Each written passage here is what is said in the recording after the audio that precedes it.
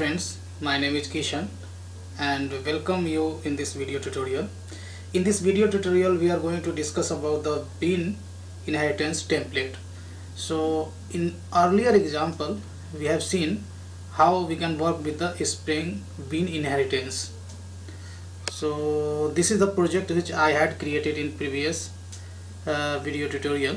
So here I had created two model class employee as well as person now my employee class is a child bean over here. And uh, I want to define employee class as a child bean and person as a parent bean and while looking into the java class you cannot observe you cannot find here parent uh, person is a uh, parent and uh, employee is a child. These things you can identify from while looking into the configuration file so here uh, first I have configured person bean and second I have configured employee bean here employee while configuring the employee bean we have specified one attribute as a parent and here I have assigned the ID of person.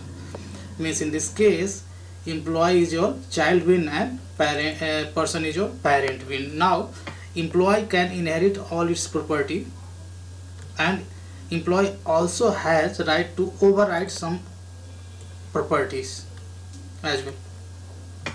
So this is the example which we had created in previous example. Now in this video tutorial we are going to look something is called a spring bean inheritance template. So let's go ahead and create a java project with name spring bean spring bean inheritance template. Click on the next finish. Now here I'm going to add a spring related jars in my class path. So click on the add library user library.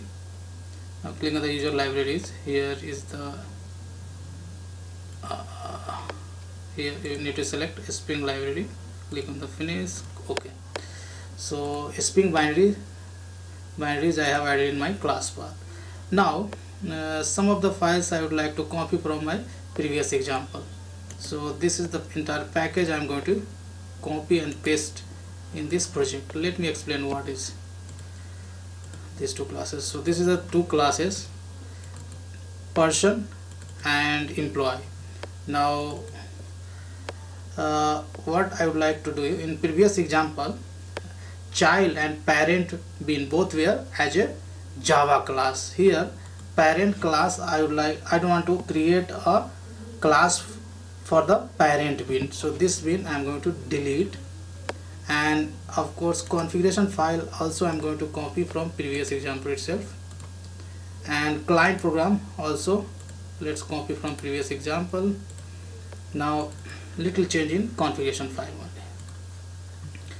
So as we have deleted this class right so you cannot specify class attribute for this bean so this uh, bean we would like to treat as a template.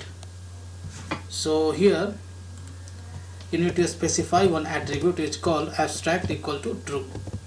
So that a spring will not try to instantiate this bean now here for meaningful just specify the meaningful id so you may keep the same id but i would like to give the some meaningful like person template. And here you need to specify the person template.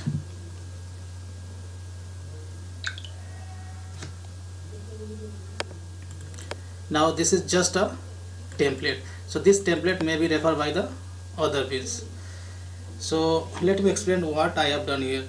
Uh, you can create a bean definition template which can be used by other child bean definitions without putting much effort. While defining a bean definition template you should not specify class attribute. And you should specify abstract attribute with a value of true the parent bean cannot be instantiated uh, on uh, on its own because it is incomplete and it is also explicitly marked marked as abstract.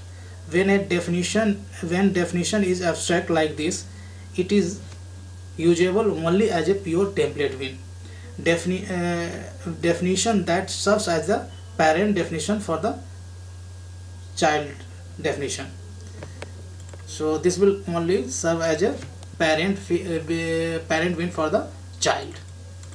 So we have done almost all modifications. So here you don't record. Person class so I have deleted. Now here uh, no there is no change in the R client program. So let's run this application see we are uh, we are able to run the client program and we are successfully retrieving the results. So I hope you guys understood what is a Spring Bean inheritance template. So that's all I have in this video. Uh, uh, see you in next video. Today thank you guys